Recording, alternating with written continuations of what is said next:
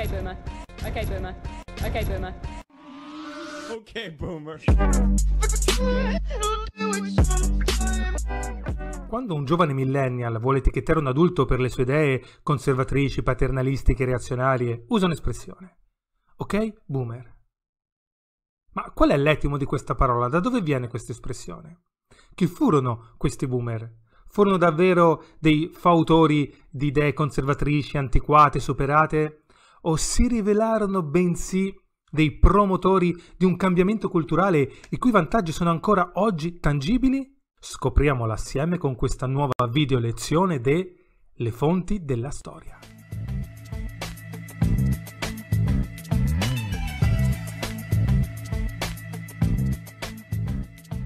L'argomento di oggi è il 68.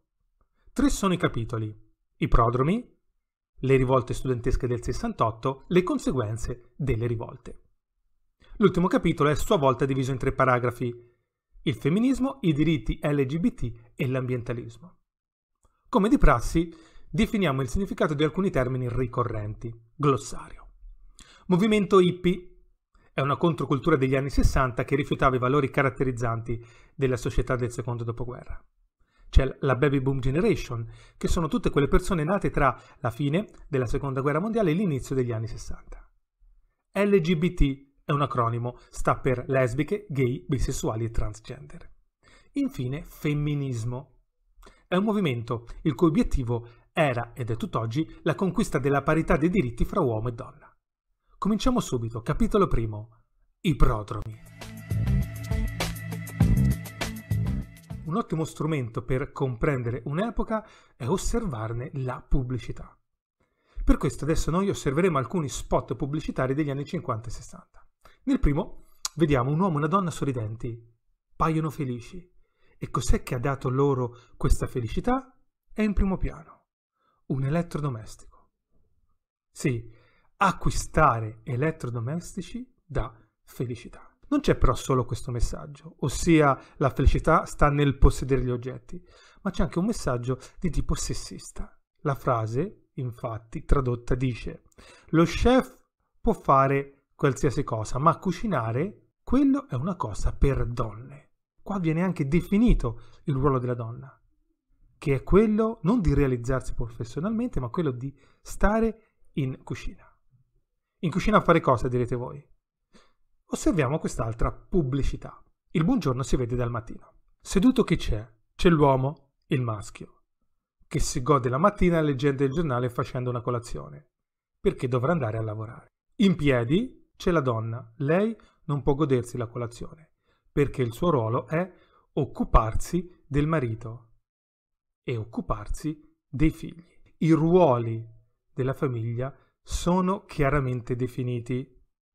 Il maschio è il capofamiglia, lavora, la donna è subordinata al marito, sta a casa, si occupa della famiglia. Questa visione della società, con questi ruoli ben definiti tra marito e moglie, dove non c'è possibilità di realizzazione per la donna, dove non c'è possibilità per forme di amore alternativo, omosessuale, bisessuale, figuriamoci transgender. Ecco, in questa visione i giovani nati negli anni 50 e cresciuti negli anni 60, cominciavano ad avvertire un senso di oppressione. Un altro valore caratterizzante della società degli anni 50 e 60 fu la guerra. Quando la patria chiama, si va e si combatte, dando anche la propria vita. Gli Stati Uniti, negli anni 50 e 60, furono impegnati nella famosa guerra fredda guerra fredda che comportò anche delle guerre calde in alcune aree geografiche della, della Terra, negli anni 50 in Corea, negli anni 60 in Vietnam. L'immagine che si vede rappresenta proprio una scena della guerra in Vietnam. Quasi tutti i giovani tra i 18 e i 25 anni furono mandati a combattere questa guerra e ne tornarono devastati o mutilati fisicamente, oppure devastati da un punto di vista psicologico. Questo ebbe un impatto fortissimo sui giovani, i ragazzi e le ragazze, che cominciarono a chiedersi, ma la guerra è veramente un valore? Non è forse un disvalore? Il vero valore non è forse la pace? Ne nacque un, un desiderio di qualcosa di nuovo, di una società diversa, con valori nuovi. Questo fermento crebbe, crebbe e alla fine degli anni 60 esplose in rivolte. Le rivolte studentesche del 68. Foto emblema delle rivolte studentesche del 68. Dei giovani studenti, anzi un giovane studente mette dei fiori nelle canne dei fucili dei soldati. Mettete fiori nei vostri cannoni. Uno slogan rappresentativo dei figli dei fiori degli hippie. I giovani eh, protestavano anche perché volevano essere liberi di dire la propria idea. Qua una manifestazione in Inghilterra dove gli studenti invocano proprio la libertà di espressione, vogliono esprimere la loro insofferenza verso i valori preimposti dai loro genitori in cui non si identificano. Un'altra frase emblematica di quegli anni fu fate l'amore e non fate la guerra. Libertà. Non importa se lo fai con un uomo o con una donna l'amore, l'importante è che lo fai. Non è ammesso solo l'amore tra uomo e donna. L'amore è sempre ammesso. Quello che non è ammesso, non è più accettato come valore, è la guerra. La manifestazione culmine del pensiero hippie, che si può racchiudere in due parole. Uguaglianza, senza distinzioni di razza, di religione o di genere, e pace, in contrapposizione ad ogni forma di violenza e di guerra. La manifestazione culmine fu il concerto di Woodstock. Iniziò il 15 agosto del 1969. Un milione di giovani si riunirono. Tre giorni di musica ininterrotta, in un'atmosfera di uguaglianza, di pace e di serenità e di autogestione. Si esibirono i più grandi musicisti, Joan Bates, che cantò Blowing in the Wind, la canzone manifesto delle rivolte dell'epoca, scritta da Bob Dylan. Janis Joplin, Jimi Hendrix Mancino, che con la chitarra suonò l'inno degli Stati Uniti d'America. Questa esecuzione ovviamente fu percepita dai boomer dell'epoca, cioè dai conservatori e dai, e dai paternalisti, come un gesto di affronto nei confronti della nazione. Ma in realtà era un'allegoria.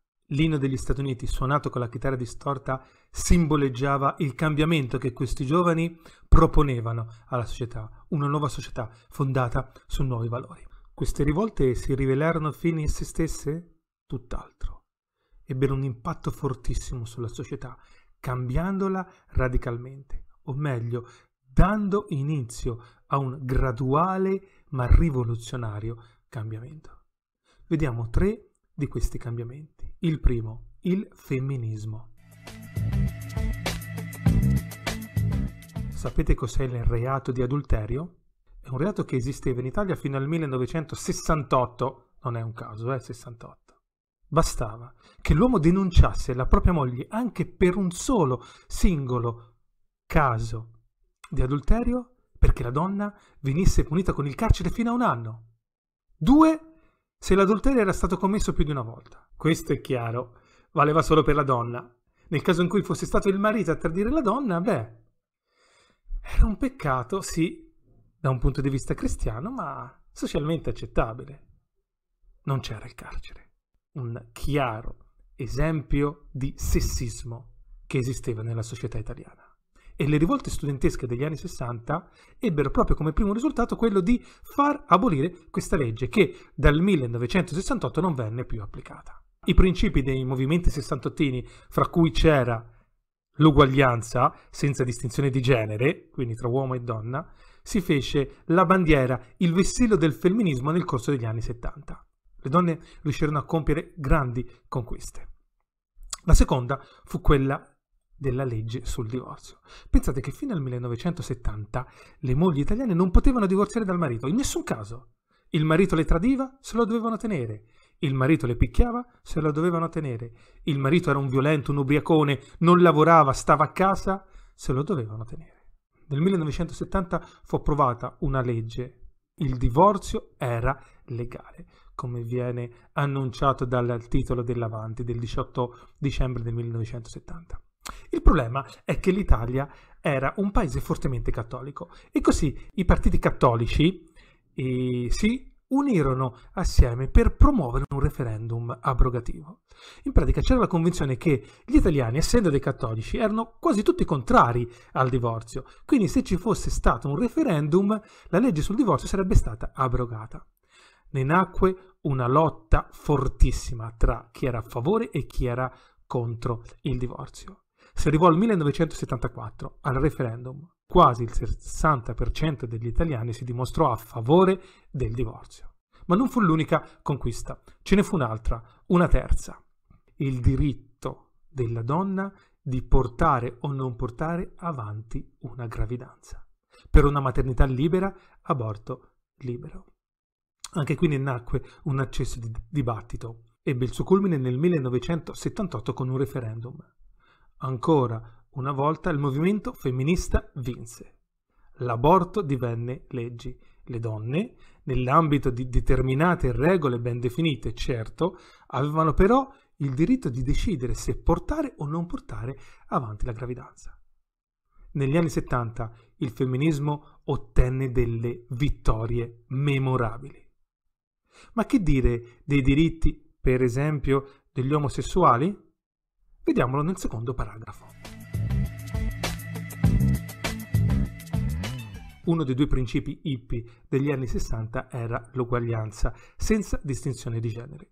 Questo voleva dire che non c'era differenza tra uomo e donna, ma voleva anche dire che non c'era differenza tra eterosessuali e omosessuali. Sul finire degli anni 70 cominciarono a intensificarsi le manifestazioni dei diritti. La prima manifestazione si ebbe nel 1979 a Washington. Nell'immagine vediamo proprio fotografata questo primo evento. In Italia purtroppo si dovettero attendere uh, 15 anni. Si arrivò al 1994 quando fu tenuto a Roma il primo Gay Pride. Il primo paese al mondo che concesse il matrimonio tra persone dello stesso sesso fu la Danimarca nel 1989. A ruota moltissimi altri paesi europei e occidentali concessero il matrimonio omosessuale. Eh, purtroppo in Italia non abbiamo ancora una uh, legislazione che garantisca il diritto degli omosessuali di sposarsi. E, però in tempi recenti è stata raggiunta una, una conquista significativa considerato che siamo un paese di matrice cattolica, il diritto eh, degli omosessuali di eh, unirsi civilmente, una sorta di matrimonio di serie B. I principi sessantottini di uguaglianza, senza distinzione di genere, di razza e di religione, e di pace e armonia e fratellanza, hanno impliciti in sé il germe di un movimento oggi molto diffuso, il movimento ambientalista. Eh sì, perché se ci dobbiamo amare e voler bene, se siamo tutti uguali, questo è possibile solo in un mondo dove si rispetta l'ambiente, gli animali e la natura, dove non si sfrutta le risorse della terra portando alla distruzione negli anni 60, sotto la guida di scienziati sensibili all'argomento, si diffusero movimenti di sensibilizzazione all'ambiente e ai problemi dell'inquinamento. L'apice di queste manifestazioni lo state vivendo proprio voi in questi ultimi anni, con i movimenti a favore dell'ambiente Friday for Futures. Adesso possiamo tornare alla domanda che ci siamo fatti all'inizio. I boomer, la generazione nata negli anni 50, si può definire una generazione promotrice di pensieri paternalistici, conservatori e reazionari? O piuttosto sarebbe meglio identificarla come una generazione fautrice di un rinnovamento culturale i cui vantaggi e i cui benefici sono ancora oggi tangibili? A voi la risposta. Purtroppo i risultati delle rivolte studentesche non furono tutte rose e fiori queste rivolte produssero anche dei frutti marci. In particolar modo due. Il primo fu la diffusione dell'abuso di sostanze stupefacenti. Il secondo frutto marcio delle rivolte studentesche fu la radicalizzazione violenta. Molti studenti erano convinti che per apportare un vero cambiamento ci volesse la forza, ci volesse la guerra. Negli anni 70 si diffusero scontri attentati che passarono alla storia col nome di anni di piombo. Ma di questo sarà bene parlarne approfonditamente in una prossima lezione.